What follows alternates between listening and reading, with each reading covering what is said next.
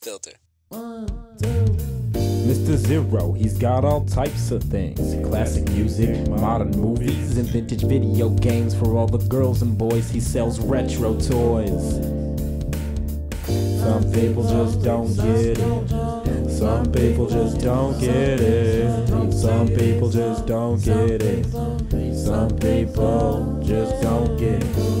Everybody take a trip down to Mr. Zero's. Bring the family, make history. In this shop full of vintage things, find something for everyone.